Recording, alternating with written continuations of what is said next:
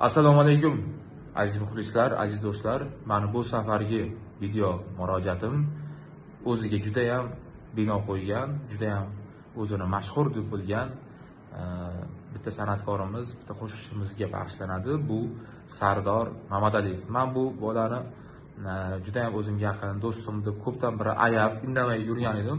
Oxirgi paytda qarasam ja o'zidan haddidan oshib ketyapti bu e, bir manga emas bu ko'pchilikning fikri. E, chunki baribir e, nafaqat e, ustozlar balki nafaqat katta ijodkorlar shoirlarni ham baribir hurmatini joyiga qo'yishni o'rganish kerak. Ayniqsa qo'shiqchilarimiz. Man bu bilan серьезно shug'ullanmoqchiman. Bugundan boshlab mani otangizni asrang otasi borlar degan she'rimni besh olti yil oldin olib qo'shiq qilib mana kliplar suratga olib mana kecha premyera qildi. Lekin boshqa san'atkorlardan farqli o'laroq e, bu do'stimiz mani ismimni she'rdan ham qo'shiqdan ham e, olib tashlabdi bilmayman nimaga. Chunki e, hech qaysi san'atkor bunaqa qilmas edi. Misol uchun ozodbek nazarbekovni ikki dushmani bor erkak kishini sinishini sog'indi kimlar yoki botir qodirovni qo'shiqlarini bilasizlar yo undan tashqari hattoki ustozimiz o'zbekiston xalq artisti sherali jo'rayev ijro etganlarida ham birorta so'ziga tegmaganlar ustoz ijodkorlarimiz mayli man yosh shoirdirman endi ustozlarimiz oldida judayam e, nima deydi man bilan hisoblashish shart emasdir lekin o'sha ustozlarimiz man bilan hisoblashgan so'zini biror joyga tegmagan va mani ismimni e, biror joyiga e, qo'l tekkizmagan. Man kim bo'lishidan qat'iy nazar she'rimni agar o'zgartiradigan bo'lsa man ruxsat beringman kim bo'lishidan qat'iy nazar e, tohir sodiqov bo'ladimi yulduz usmonova bo'ladimi yoki undan kattasi bo'ladimi? Misol uchun farruh zokirov ijro etishi mumkin. Man hammasini gaplashganda aytganmanki agar so'zini biror joyga agar e, tekizadigan bo'lsalaringiz e, misol uchun o'zgartiradigan bo'lsalaringiz mayli aytmasdan qo'yaveringlar sizlarni qo'shiqlaringiz bilan keladigan reyting manga kerak emasligini chunki muxlislarimiz mani she'rlarimni deyarli hammasini yoddan biladi. Shuning uchun mani sardor mamadaliyevga murojaatim agar bundan keyin mani she'rlarimni qo'shiq qiladigan bo'lsangiz birorta joyiga e, tekizmang e, biror joyini e, olib tashlamang shundoq aytsangiz ayting bo'lmasa agar aytmasangiz ham mayli.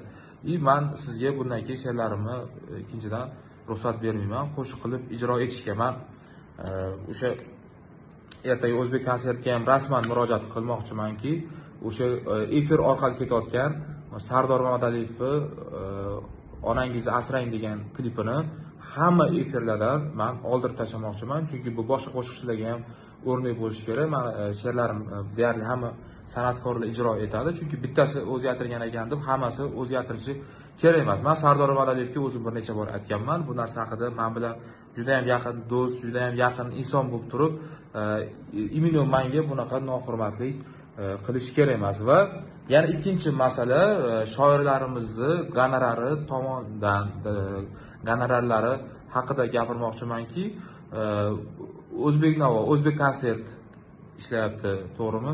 Televideniyalarimiz ishlayapti va san'atkorlarimizni atrofida yigirmata o'ttizta yaqin ijodkorlar ishlaydi. Lekin e, shaharda bilasizlar hamma narsani narxi bor. Oddiy pejvachka olsangiz ham narxi bor. E, musiqani ham narxi bor. Klipni narxi bor. Yoki e, deylik o'sha e, har bitta e, efirni har bitta ketayotgan efir narxi bor. Lekin she'rni narxi yo'q. Bu haqida nima uchun e, tegishli tashkilotlarimiz shug'ullanmayapti? Agar e, shug'ullansalaringiz серьезный shoirlarimizni taqdiri bilan shug'ullaninglar. Man shaharda bugungi kunda qo'shiqchilarga she'r yozayotgan birorta bir e, yaxshi holatda yurgan shoirni bilmayman. Pul tomonlama gonorar tomonlama qancha hitlarni yozgan shoirlarimiz ham hammasi juda e, iqtisodiy tomonlama qiyin ahvolda yuribdi. Shug'ullansalaringiz shug'ullaninglar. Bo'lmasa man o'zim e, madaniyat vazirligiga yoki e, tegishli joylarga man murojaat qilib shoirlarimizni mualliflik huquqlari va gonorarlari masalasi bo'yicha man o'zim shaxsan o'zim shug'ullanmoqchiman. Man gapirsam ko'pchiliklaringiz yomon ko'rib qolasizlar gaplarimni men unaqa gapiryapsan men bunaqa gapiryapsan deb. Lekin shoirlarimizni ayniqsa qo'shiqchilarimizga xizmat qilib qo'shiqchilarimizni reytingini butunlay ko'tarib tashlayotgan o'zgartirib tashlayotgan shoirlarimiz bilan ham kimdir shug'ullanadimi yoki shug'ullanmaydi? Yo shundoq ketaverish kerak bo'ladi kimdir ellik dollar beradi kimdir yuz dollar beradi.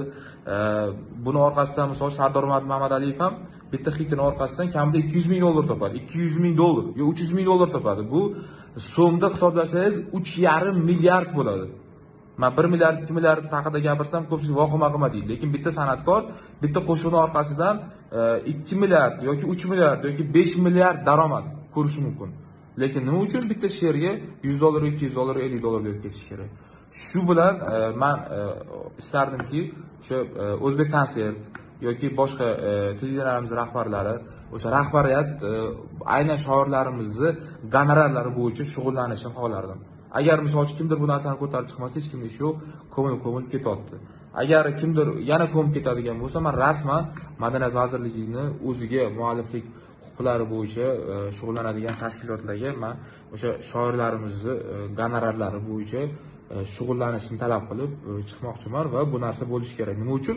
Shaharda faqat e, aynan she'r narxi yo'q. Hamma narsani narxi bor. Даже klipmi yoki даже hamma o'sha san'atkor atrofdagi har bitta efir uchun bitta kanal telekanal ikki million uch milliongacha olyapti. Bitta dona klip bir marta ketishi uchun san'atkorga ham oson emas.